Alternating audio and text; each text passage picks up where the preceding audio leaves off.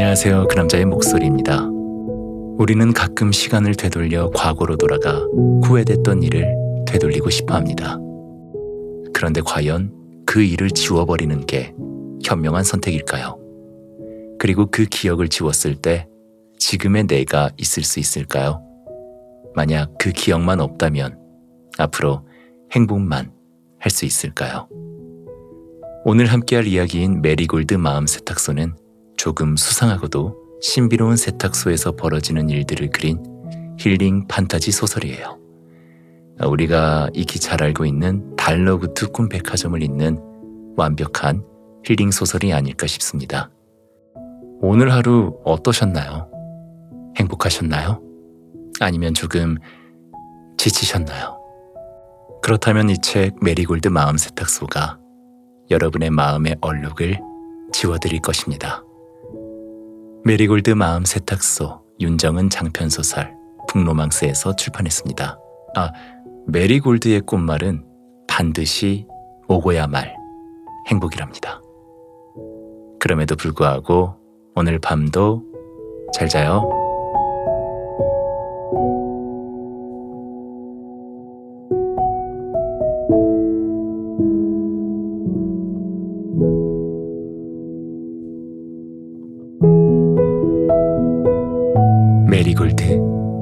세탁소 봄이 지나면 가을이 오고 가을이 지나면 다시 봄이 오는 마을이 있다. 축구공만한 지구본을 돌리고 돌리다 보면 먼지처럼 작은 마을 하나가 눈앞에 떠오른다. 이곳은 지구에 있지만 아무나 그 존재를 알 수는 없다. 신비로운 꽃과 나무가 가득하고 상상할 수 없는 힘을 가진 사람들이 모여 산다. 날개는 없지만 요정처럼 아름다운 사람들이.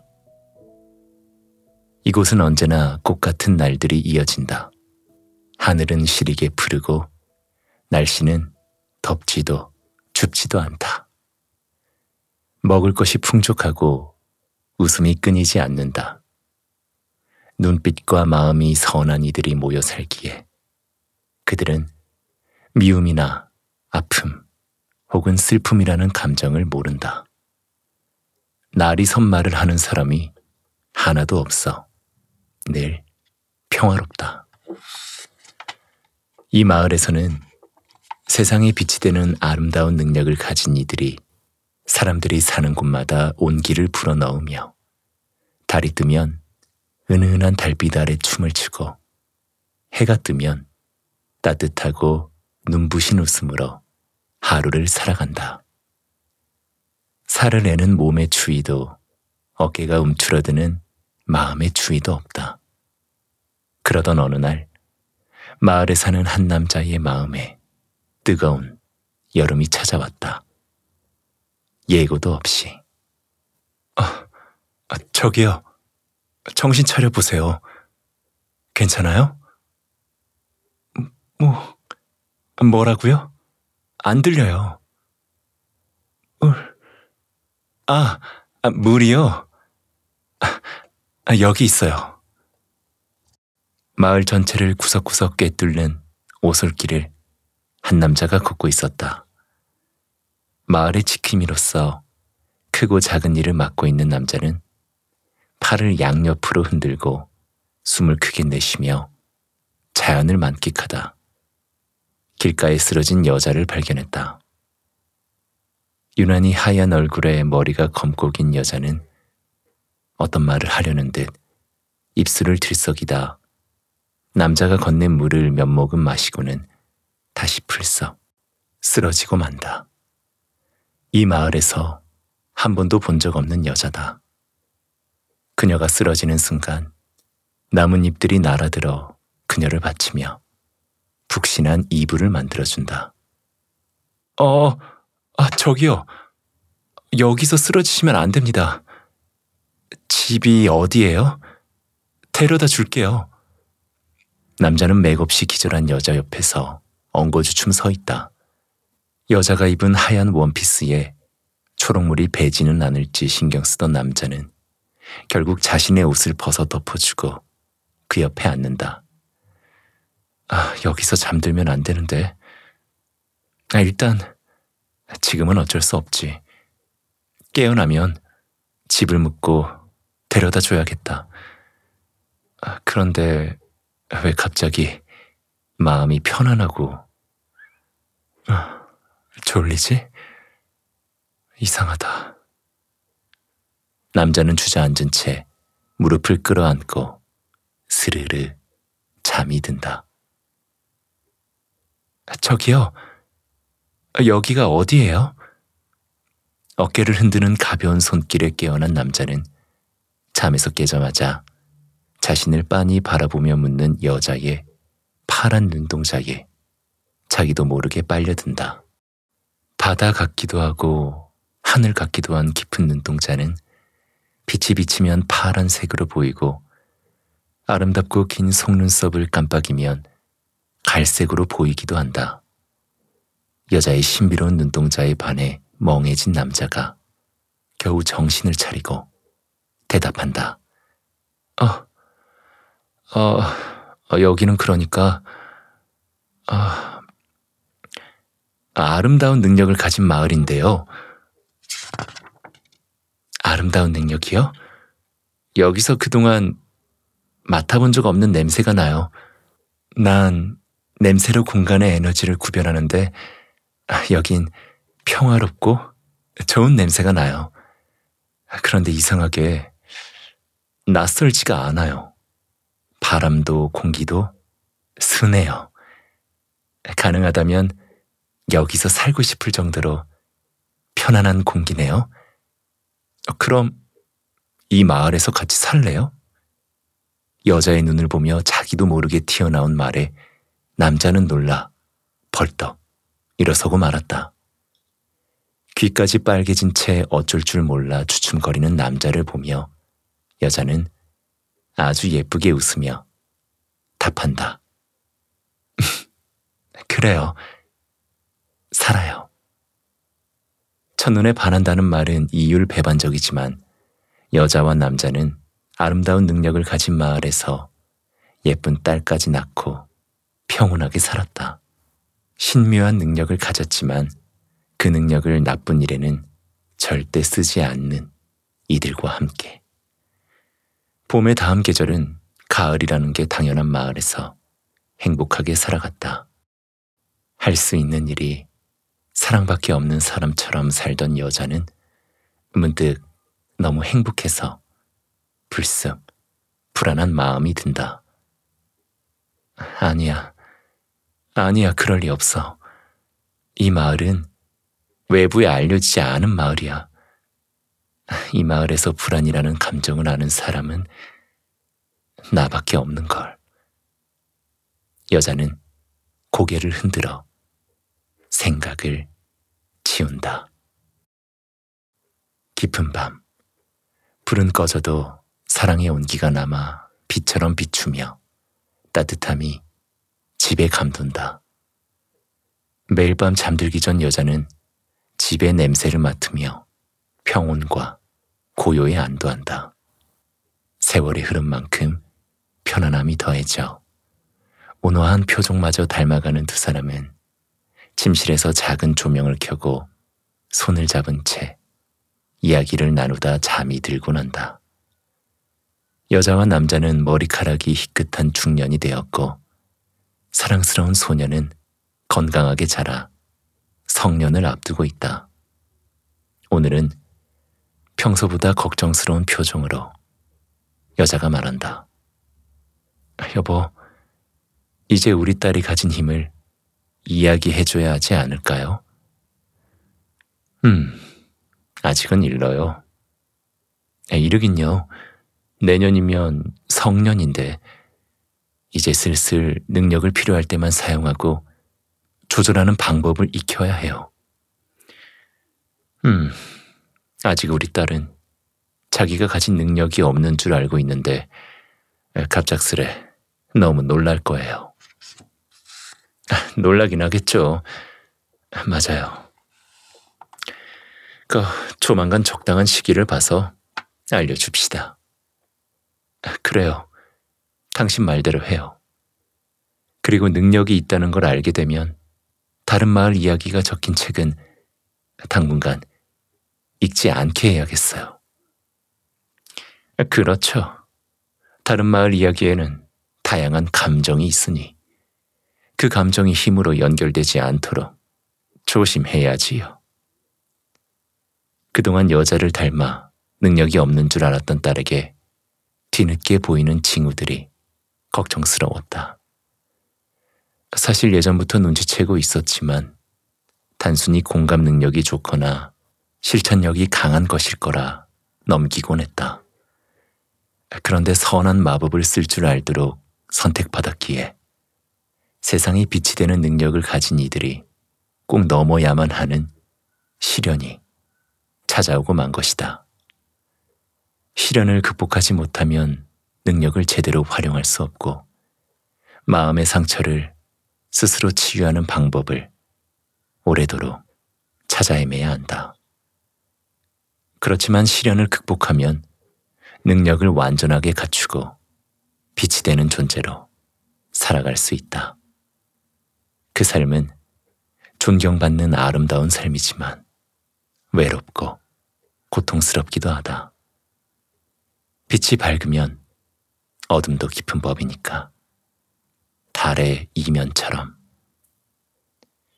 자신이 살던 도시에서 회복할 수 없는 상처를 받아 도망치듯 뛰다 정신을 잃고 이 마을에 들어선 여자였다. 여자는 이곳에 살면서 마음의 상처를 오직 사랑으로 치유할 수 있었다. 그러기에 자신의 아이가 시들지 않는 꽃처럼 한 번도 상처받지 않은 사람처럼 세상에서 가장 아름답고 비밀스러운 이 마을에서 맞게만 살아가길 바랐다. 그러나 언제나 바람은 바람으로 남곤 했다는 걸 기억해내고 말았다. 딸의 이야기를 나누는 이들은 마음이 편해졌고 자신이 원하는 것을 이루는 딸의 능력이 점점 부각되었다.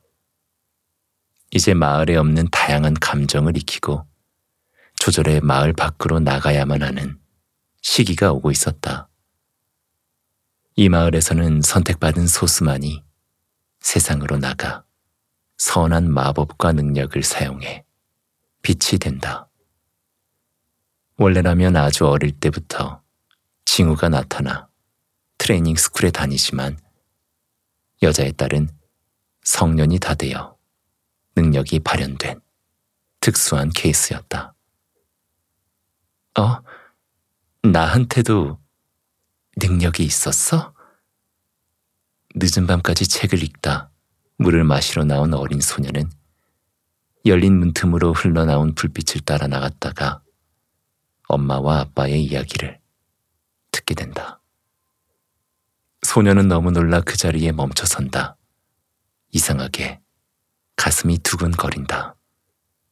나에게 대체 어떤 능력이 있는 걸까? 그 힘으로 누구를 도와야 할까? 다른 마법 능력을 가진 이들처럼 말 밖으로 나가야만 하는 걸까? 한 번도 경험해보지 못한 세상은 어떤 모습일까? 걱정과 기대가 동시에 몰려온다. 벽에 몸을 붙이고 숨죽여 엄마와 아빠의 이야기를 엿듣는다.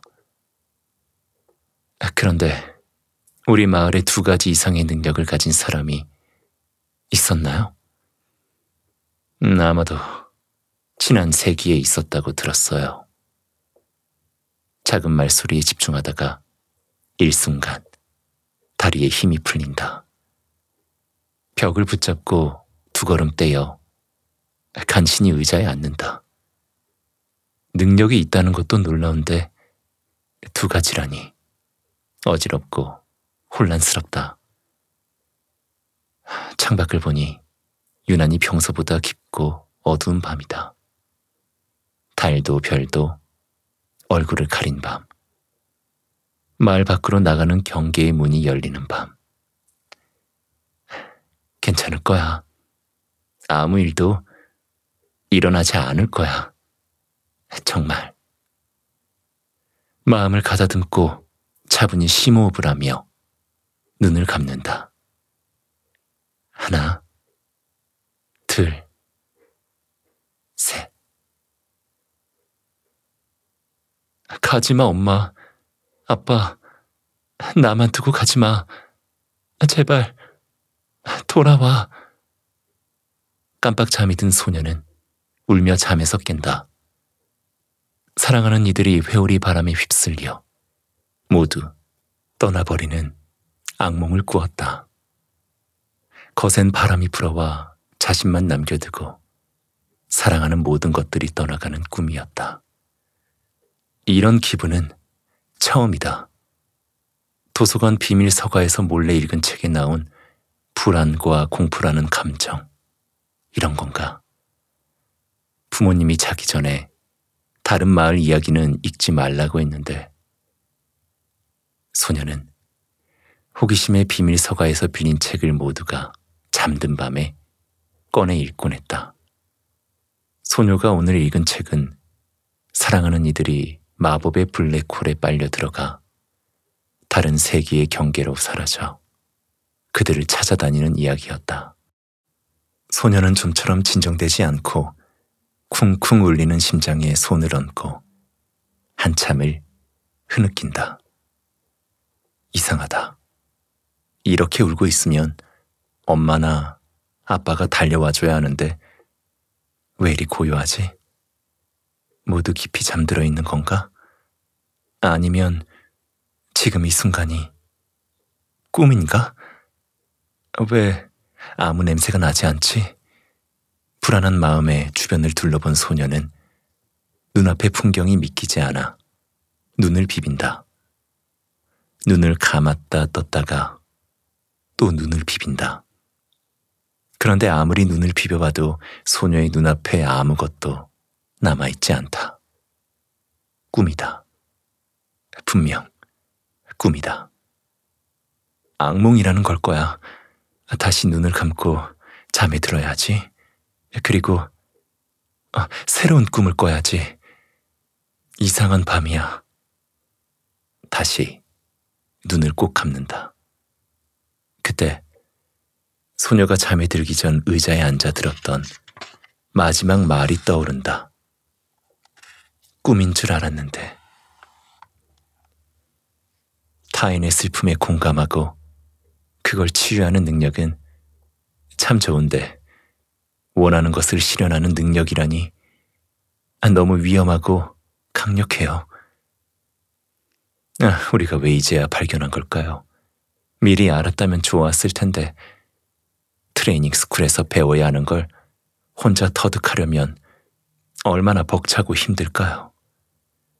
자책하지 말아요. 이미 일어난 일을 후회한다고 일어나지 않는 일이 되는 게 아니잖아요. 우리가 이제라도 알았으니 곁에서 많이 도와줘요. 아, 알았어요. 그런데 능력을 처음 발견하게 되면 당분간은 생각하고 꿈꾼 일이 즉시 일어나잖아요. 험한 생각을 하지 않게 조심해야 해요. 아, 내일 저녁 편안한 분위기를 만든 다음 사실을 말해줘야겠어요. 그렇게 해요. 아, 그런데 두 능력이 다 발휘하려면 뒷말은 미처 듣지 못하고 잠에 들어버렸던 소녀는 끝없는 후회에 빠진다. 뒷말을 마저 들었어야 하는데. 아니, 물을 마시지 나오지 말았어야 하는데. 아니, 늦은 밤까지 깨어있지 않았어야 하는데. 아니, 부모님의 이야기를 엿듣지 말았어야 하는데. 아니, 애초부터 다른 마을의 책을 읽지 말았어야 하는데. 비밀 서가에 들어가지 말았어야 하는데. 생각할수록 눈덩이처럼 불어나는 숱한 후회들이 흘러간다. 감았던 눈은 떴지만 꿈이 아니다. 현실이다. 말 그대로 폐허다. 사랑하는 이들이 나 때문에 휩쓸려간 자리에 홀로 남겨져 있다. 후회되는 순간을 되돌릴 수 있는 기회가 주어진다면 얼마나 좋을까? 그렇다면 나는 다른 선택을 할 수 있을까? 정말 그럴 수 있을까? 아니, 나쁜 일을 미리 알고 막을 수 있는 능력을 가졌다면 얼마나 좋을까? 어쩌면 내가 할 수 있지 않을까? 이럴 수는 없다. 이렇게 허무하게 한순간에 모든 것이 사라질 수는 없다. 눈을 감았다 뜬 것 뿐인데 빛나던 세상이 암흑으로 가득하다. 이건 꿈이다. 분명 꿈이야. 꿈이 아니야. 현실이야. 때로는, 아니 자주, 현실은 꿈보다 잔인하다. 아무리 눈을 감았다 떠도 앉은 자리에서 잠들었다 깨기를 반복해도 혼자다. 소녀는 자기가 가진 능력을 어떻게 사용하는지를 몰랐다는 이유로 사랑하는 이들을 잃고 만다. 어떻게든 다시 되돌릴 수 있을 거라 믿으며 트레이닝 스쿨 교재를 모조리 찾아보다 이런 글귀를 발견한다. 능력을 알게 된 초기엔 힘 조절이 미숙해 꿈꾸길 각별히 주의해야 합니다. 특히 훈련 초반에는 많은 일들을 실현시킬 수 있게 됩니다. 잠들기 직전에 하는 생각이 현실로 나타나는 일이 생길 수 있으니 이를 악용하거나 위험에 빠지지 않도록 주의하세요. 자기 직전에는 반드시 명상을 하고 기분 좋은 생각을 하세요.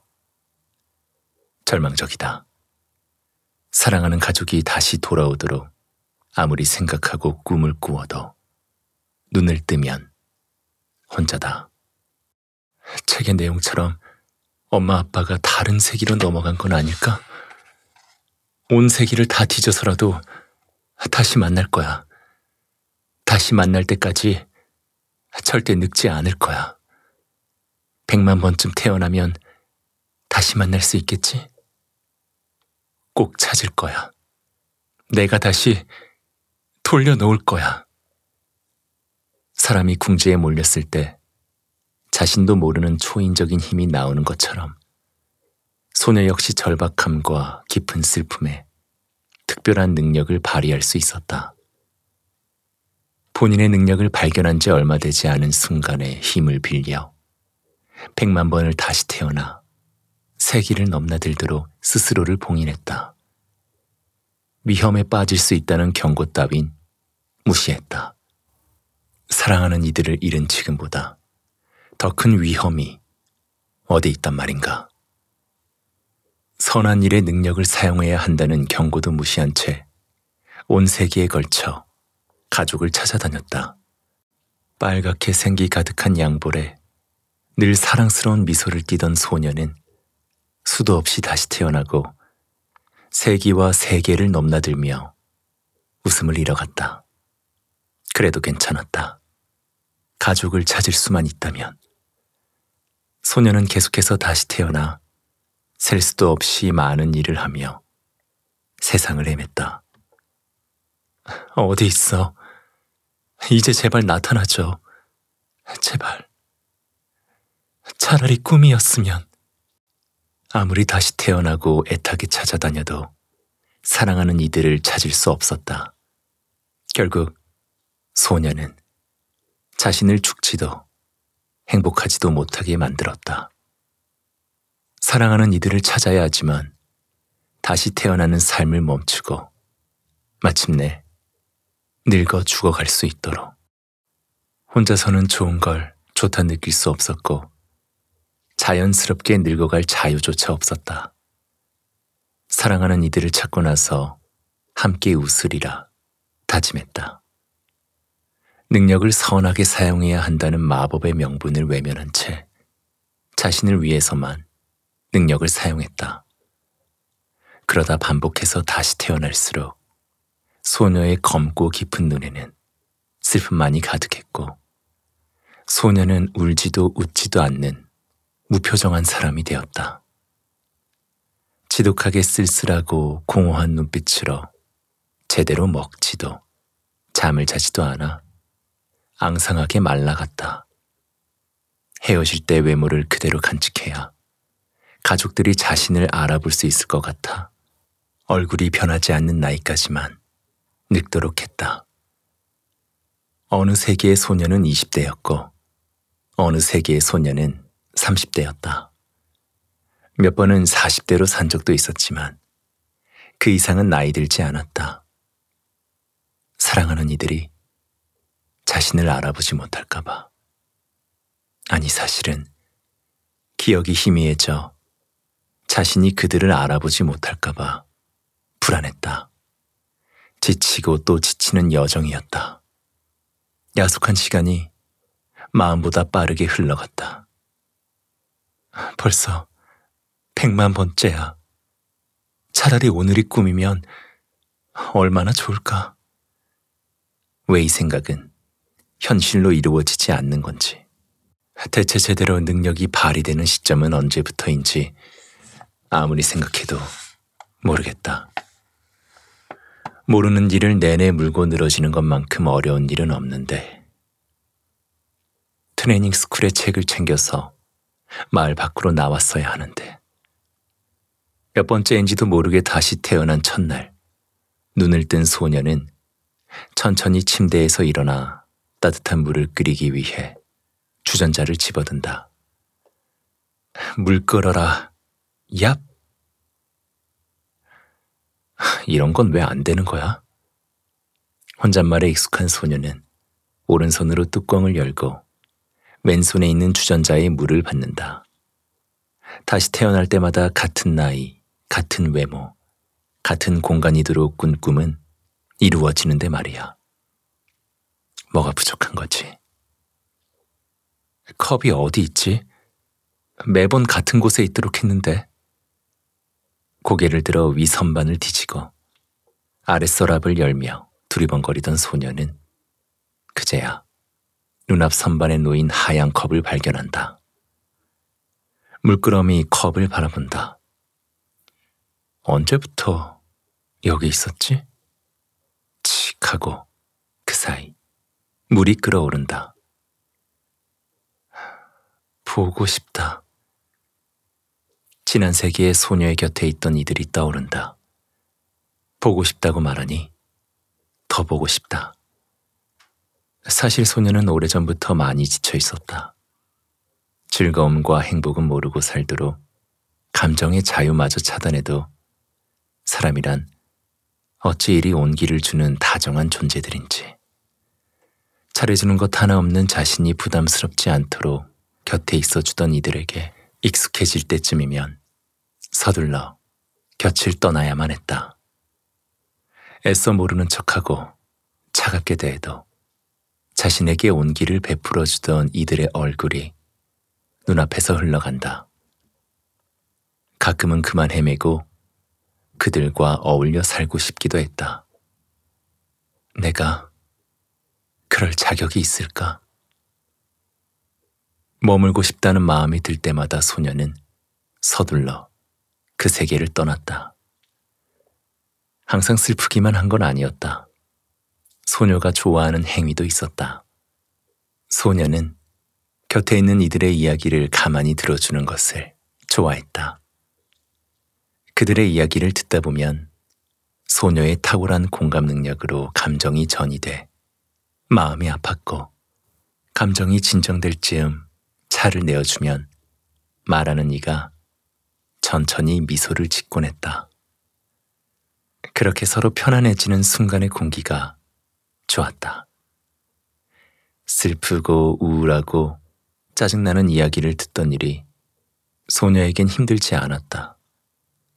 사람들보다 오랜 시간을 살아오며 기쁨의 순간들보다 힘든 순간들이 생에 널려 있음을 자연스레 알게 되었고 그들이 털어놓는 속내가 소녀에게는 음악 소리와 같은 말소리로 들렸다. 그리고 그 이야기들을 가슴속에 담고 살아가다 마음의 얼룩을 남기는 것보다 자신에게 풀어내며 천천히 그들의 마음을 풀려 깨끗해지는 시간이 좋았다. 내심 많은 이들의 마음을 어루만져 주다 보면 언젠가 소녀의 마음도 채워지지 않을까 기대하기도 했다. 사실 소녀는 그것이 자신이 가진 능력이라는 것을 알았다. 하지만 능력을 온전히 사용하는 것이 겁이 났다. 다시 누군가를 잃을까 두려웠다. 누군가를 사랑한다는 건 그를 잃을 수도 있다는 두려움이 꼭 동반되는 것일까? 나이가 들지 않도록 스스로를 봉인한 소녀는 곁에 있는 이들이 나이 들어가는 걸 바라보며 매번 떠날 준비를 해야만 했다. 발길이 쉽게 떨어지지는 않았지만 혹시 그 사람들이 그토록 소녀가 찾아 헤매던 사랑하는 이들은 아니었을까? 이렇게 긴 시간에 걸쳐 다시 태어나면서도 지난날의 과오를 자책하느라 정작 찾아야 할 것을 눈앞에 두고 보지 못하는 건 아닐까? 이 컵처럼 소녀는 응시하던 하얀 컵을 집어들고 물을 따르며 생각한다. 물을 끓이는 것도 채우는 것도 선택인데 말이야. 별 생각이 다 드네. 다시 태어나는 일도 이제 너무 힘들어. 이제 그만 포기해야 할 때가 온 건가? 아니야. 아직 아니야. 그런 생각은 하지 말자. 생각을 지우려 고개를 양쪽으로 흔든다. 잔에 뜨거운 물을 따라 후후 불어 마시며 집을 살펴본다. 다시 태어날 때마다 동네는 달라져도 같은 구조의 집에 살기에 낯설지 않다. 방 하나 거실 하나에 작은 부엌이 있는 단출한 구조의 12평짜리 집이다. 가구라고 해봤자 침대 하나, 작은 화장대 하나, 장롱 하나, 의자 하나, 테이블 하나가 전부다. 오랜 세기 전에는 크고 화려하게 집을 꾸며보기도 했지만 혼자 사는 외로움이 더 커질 뿐이었다. 새롭게 태어날 때마다 일을 하지만 번 돈을 쓰지 않으니 돈이 모였다. 가진 돈은 늘어났지만 거듭 태어날수록 필요한 것들은 줄어들었다. 익숙한 구조의 집을 훑어보며 천천히 거실로 걸어가 창문 앞에 선다. 아름답구나. 이번 동네 메리골드는 지명이 마음에 들어 골랐다. 엄마가 좋아하던 꽃 이름과 같은 이름의 도시라니 내적 친근감이 감돈다.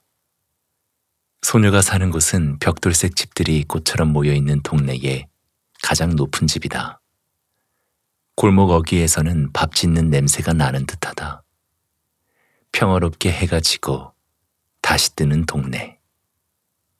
창밖으로 보이는 집들 가운데 몇은 노란 불빛을 밝히고 굴뚝으로 연기가 올라온다. 소녀는 꼼짝 않고 서서 창밖을 응시한다. 사람이 붐비지는 않았지만 그렇다고 인적이 드물어 쓸쓸하지도 않은 동네다. 컵을 든 채 창문을 열고 베란다로 나간다. 맨발에 닿는 타일의 촉감이 차갑다. 바다를 등지고 선 소녀 앞으로 바람이 분다. 그리고 해가 진다. 왼쪽으로 고개를 돌리자 숨이 멎을 것 같다. 온 힘을 다해 하늘을 붉게 물들이며 해가 지고 있다. 타오를 듯한 해가 아주 천천히 바다로 들어가고 있다. 지는 해가 이토록 아름다웠던가. 산 아래 꼭대기 마을의 두 면은 바다를 품고 두 면은 도시를 품고 있다. 눈을 감고 숨을 아주 크게 들이쉰다. 물냄새가 난다. 도시와 바다와 마을이 어우러지는 풍경을 바라보며 소녀는 쓸쓸해진다. 문득 뜨거운 눈물이 흐른다. 뭐야, 해지는 거 왜 이렇게 예뻐? 세상에 예쁜 게 아직 남아있네. 보는이라도 있는 양 황급히 눈물을 닦으며 소녀는 해지는 풍경을 물끄러미 응시한다. 바람이 분다. 꽃냄새가 코끝을 스치고 지나간다. 바람에 흩날리는 머리카락을 쓸어 넘기며 소녀의 눈동자에도 노을이 물든다. 왜지? 익숙한 냄새가 나네. 한껏 크게 숨을 들이마시며 소녀는 오래전 맡았던 냄새를 떠올린다. 어디서 이 냄새를 맡아봤더라. 그리움의 냄새를 떠올리며 식어버린 컵의 물을 마신다. 순간적으로 해는 바다 능선 아래로 완전히 넘어갔다. 해는 졌지만 해의 잔해는 하늘에 남아 노을로 붉게 번진다. 해가 지자마자 어둠이 시작되는 것이 아니다. 해는 천천히 빛을 내며 지고 있었고 보이지 않아도 남은 빛이 지속되고 있었다. 그렇다. 빛과 어둠은 양면이 아닌 한 면으로 이어져 있다. 소녀는 찬찬히 어둠이 들이우는 광경을 바라본다. 깊은 어둠이라 해도 빛이 들어오는 부분이 있다. 완전한 어둠 속에 있다고 생각돼도 눈치챌 수 없을 정도로 희미하게 빛이 비춘다. 그리고 밤이 서서히 내려앉는다. 깊은 어둠 속에서도 해가 지듯 천천히 어둠은 밝음으로 이어져 달과 해가 같은 하늘에 공존한다. 낮에 달을 보지 못하는 건 낮에 해를 보려고만 하기 때문이 아닐까. 소녀는 가만히 무릎을 안고 웅크려 앉아 밤을 꼬박 샌다. 새벽이 오고 아침이 온다. 어둠이 영원할 것 같아도 아침은 다시 온다. 살아있는 한 노력하지 않아도 얻을 수 있는 건 이 아침을 맞이하는 날들 아닐까. 살아있는 한 영원한 어둠도 빛도 없구나. 그 순간 소녀가 지난 세기에서 만났던 이들에게 위로 차를 내어줄 때의 손길과 차를 마시던 이들에게서 서서히 걷어지던 캄캄한 어둠. 천천히 해가 떠오르듯 차를 마신 이들이 고개를 들며 미소 지을 때의 순간들이 스쳐 지나간다. 기억 났어. 쨍그랑 하얀 컵이 소녀의 손에서 떨어진다. 새하얀 파편이 사방으로 튄다. 무의식 속에 다 남아 있었다. 왜 이제서야? 소녀는 양손으로 입을 틀어막는다. 소리를 질러도 듣는 이 하나 없는 동이 터오는 새벽이다. 엄마와 아빠가 나누던 대화를 듣다 쓰러진 소녀의 의식 속에 남아있던 아빠의 마지막 말이 귓가에 들려온다.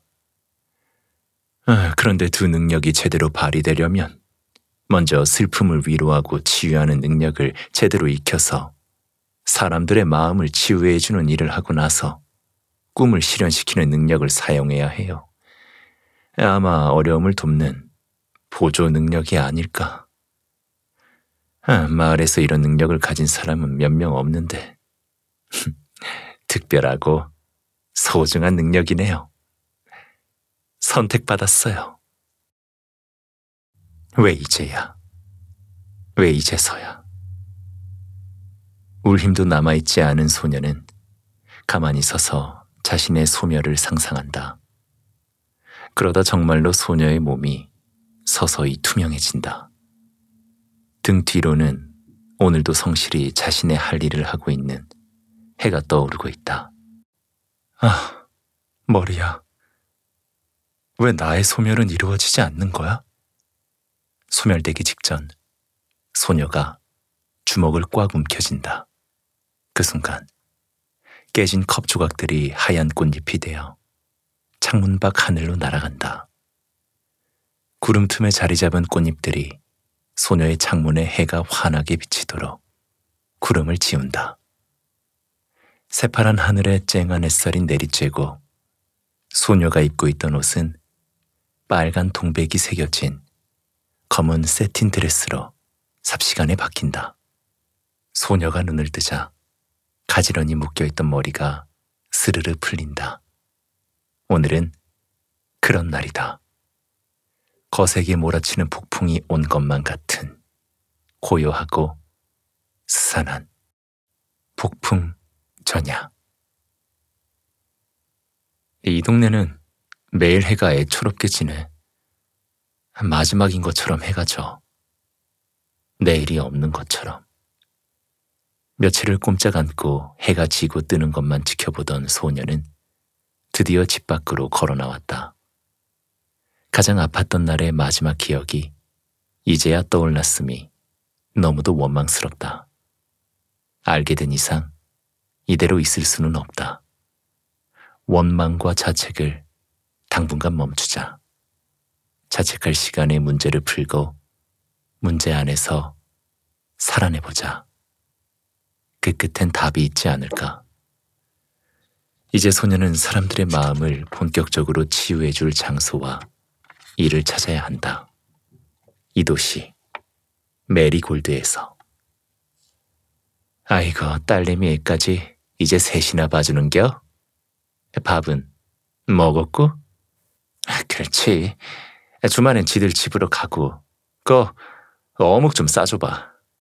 소녀의 곁을 스치는 동네 사람들은 길을 지나며 자연스레 말을 섞는다. 검은 비닐봉지에 뜨끈한 음식 뭉치와 천 원짜리 몇 장이 오간다. 작고 소박한 이 동네는 오래 거주한 이들이 많아 숟가락 개수까지 알고 있는 곳이다. 그 김밥은 서비스요. 아니 무슨 어묵을 샀는데 김밥을 서비스로 준대? 아 그 뭐가 남어? 돈 받아. 여기. 아이고 됐어. 내일 또 사 먹어. 소녀는 기분 좋게 농이 오가는 광경을 바라본다. 이상하다. 이야기를 듣다 보니 배가 고파진다. 오랜만에 허기를 느낀 소녀는 이야기 소리가 들리는 우리 분식이라는 이름의 낡은 식당에 들어간다.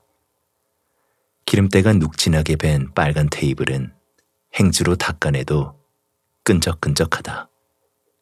맞춤법이 틀린 메뉴판의 글자를 고쳐주고 싶은 마음을 참으며 김밥 한 줄을 시킨다. 그런데 마지막으로 밥을 먹어본 게 어느 생이었지? 최소한 이 생에서는 처음인 것 같은데. 해야 할 임무가 있는 자신에게 음식을 씹고 즐기는 여유는 사치라 생각했다. 그래서 그동안은 한 알만 먹으면 하루치 에너지를 얻을 수 있는 알약으로 연명해온 소녀였다. 지난 어느 세기에서 만난 이의 마지막을 지키며 알약 제조법을 넘겨받았었는데 그 얼굴도 이제는 희미하다. 씹는 법도 삼키는 법도 잊은 마냥 허망한 표정의 소녀에게 분식집 사장이 김밥을 내주며 말한다. 나 여기 그 안 맥혀도 밀어 넣어야 해. 안 그러면 말라서 허리 꼬부라져. 나도 오늘 입맛 없는데 억지로 밀어 넣었어. 음. 그래야 배꼴에도 늘어. 안 먹음 자꾸 줄어. 누군가 이렇게 자신에게 밥 잘 먹으라고 이야기한 것도 어느 시대였나 회상하며 소녀는 기계적으로 김밥을 입에 밀어 넣는다. 분식집 사장의 불룩 나온 배와 오래된 꽃무늬 앞치마를 무심히 바라보며 고개를 갸우뚱한다. 오랜만에 밥을 먹어서 그런가? 맛이 없네. 하고 생각하는 여자에게 사장은 뜨거운 김이 모락모락 나는 어묵 국물을 툭 가져다 주며 묻는다. 아, 근데 아가씨는 이름이 뭐야? 국물에 뜬 파와 후추를 눈으로 세어보던 여자는 멈칫한다. 옆 테이블에 펼쳐진 누렇게 바랜 전단지에 적힌 지은 마트라는 글자에 눈길이 머무른다. 김밥을 씹으며 몇 초간 침묵하던 소녀는 입술을 찬찬히 들썩이며 이름을 말한다. 지은. 지은이? 예쁜 이름이네. 그 맛있게 먹고 다음에 올 때는 라면도 시켜 먹어. 그렇지. 지은이. 예쁜 이름이지. 이야기를 짓는 지은이. 급하게 지어낸 이름이 마음에 들어 소녀는 작게 미소를 지으며 숟가락으로 파와 후추 가득한 국물을 입에 넣는다. 따뜻하네. 국물이. 소녀. 아니 지은은 김밥 한 줄을 다 먹고 입을 뗀다. 아줌마, 이 건물 얼마야? 내가 살게. 웜에 이 건물을 아가씨가 어떻게 사? 머리가 아픈겨? 아가씨 돈 많어? 어, 많다면 많지. 웜에 집이 부자요? 돈이 얼마나 있으면 부자라고 할 수 있지? 열심히 벌긴 했는데 어느 순간부터는 돈 쓰는 재미가 없더라고. 안 쓰니까 뭐여. 그래서 많아. 아무튼 누가 주인인지만 알려줘. 건물 가격은 세배로 쳐준다고 해. 대신 아줌마는 지금 월세 반으로 깎아주고 평생 동결. 아이고, 아이고 부자 맞구먼. 얼굴 이쁜 아가씨가 마음도 이쁜겨. 어, 살 수만 있으면 그렇게 혀봐. 주인네 번호 알려주는 게 뭐 어렵다고? 자, 여기. 낡은 메모지에 적힌 번호를 찬찬히 읽고서 지은은 씩 웃으며 말한다. 아줌마, 대신 앞으로 음식 맛 지금처럼 쭉 유지해야 해. 갑자기 신메뉴 개발하고 그러지 말고. 초심을 잃지 마. 웜에 또 사람 볼 줄 아네. 나가 음식을 잘하긴 하지. 아, 근데 아가씨는 왜 사람 보자마자 반말이요? 내가 보기보다 나이가 많아. 아줌마보다 오래 살았거든. 그려, 그려. 아, 그렇다 쳐. 구불구불한 검고 긴 머리가 허리까지 닿아 있고 얼굴이 창백하게 하얀 지은의 심각한 표정을 보며 분식집 사장은 껄껄 웃는다. 20대 같기도 하고 40대 같기도 한 아가씨다. 사장은 분식집 앞에 멍하니 선 텅 비어 있는 듯한 슬픈 눈빛의 지은을 보자마자 왠지 안쓰러웠다. 안아주고 싶을 만큼 말라 비틀어진 저 아가씨가 가게로 들어오라고 일부러 더 크고 우렁차게 말을 했는지도 모른다. 에 아가씨, 에, 아니 아니, 지은 씨? 그 꽃무늬 원피스 어디서 샀디야? 아, 그 나도 마음에 드는디 내가 입음 딱 어울리겠어. 지은이 입고 있는 까만 바탕에 빨간 꽃이 새겨진 원피스를 보며 분식집 사장은 불룩 나온 배 아래 걸쳐 있는 자신의 핑크색 꽃무늬 앞치마를 어루만진다. 사장의 주름지고 마디가 두툼한 손을 보며 지은은 그리운 기억이 떠올라 가슴이 욱신. 절이다. 엄마, 마음이 없으면 어떻게 돼? 음, 사랑도 기쁨도 슬픔도 아무 감정도 느낄 수 없게 되겠지? 슬프지 않으면 좋은 거 아니야? 슬픈 일이 있었어? 아니, 책에서 슬픔이랑 아픔이란 감정을 읽었어. 그래서 궁금했어. 만약에 말이야, 마음이 아프면 꺼내서 얼룩을 지우고 햇볕에 널어 잘 말리면 돼. 다음 날이면 깨끗하게 마른 마음으로 편안해질 거야. 마음을 꺼낼 수 있어? 꺼낼 수 없으면 이렇게 종이에 마음을 그리면 어떨까? 좋아. 그런데 마음이 아프면 엄마가 안아주면 되잖아. 반짝이는 맑은 눈으로 말을 하는 아이에게 대답 대신 등을 가만히 쓰다듬으며 토닥이던 엄마는 앞치마에서 쿠키를 꺼낸다. 노란 원피스를 입고 양볼이 빨간 아이는 쿠키를 받아들고 베어문다. 쿠키 가루를 얼굴에 묻히고 양팔을 벌려 날듯이 뛰어다닌다. 꽃바람이 회오리치듯 몰려와 아이를 감싼다. 빨간 꽃잎에서 뒹굴듯 놀던 아이는 꽃잎이 되어 사라진다. 이 원피스 한 50세기 전에 샀어. 지금은 없을 거야. 다음에 봐. 아줌마. 검고 긴 속눈썹에 슬픔이 걸린 지은은 우리 분식 사장의 앞치마에서 시선을 거두고 그리운 기억에서 빠져나와 계산을 마치고 가게를 찬찬히 둘러본다. 짧은 한숨을 내쉰 뒤 이내 휴대폰을 꺼내 건물 주인의 번호를 하나씩 꼭꼭 누른 다음 통화 버튼을 누른다. 연결음을 들으며 분식집 옆 건물에 붙어 있는 낡고 바랜 간판을 발견한다. 마음 세탁소. 모든 얼룩 지워드립니다. 명품 드라이 클리닝. 글자를 찬찬히 읽는다.